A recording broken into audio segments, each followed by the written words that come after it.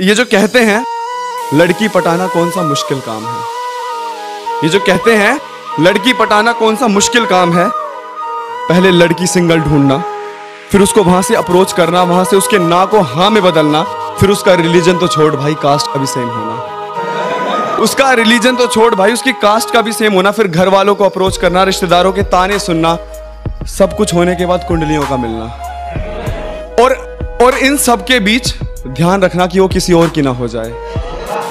अमा जाओ, मियाँ हँसी खेल है क्या? जिससे प्यार किया, उसी से शादी करना।